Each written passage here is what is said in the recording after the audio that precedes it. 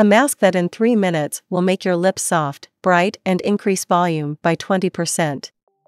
This effect will last more than 5 hours.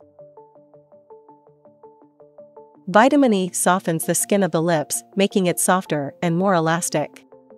Lemon or orange essential oil is an excellent antiseptic that will increase blood circulation and rejuvenate skin tissues.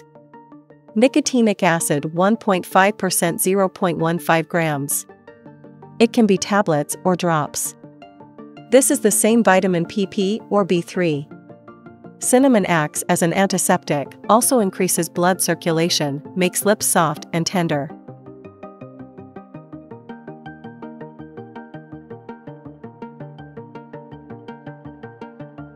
After cooking, do a preliminary test. Apply a small amount to the skin on the wrist and wait 3 minutes. Then wipe everything off with a damp cloth. If the red spot disappears after 10 minutes, then you can apply it on the lips. If not, then this means that you have an allergic reaction to one of the components and this remedy is not suitable for you.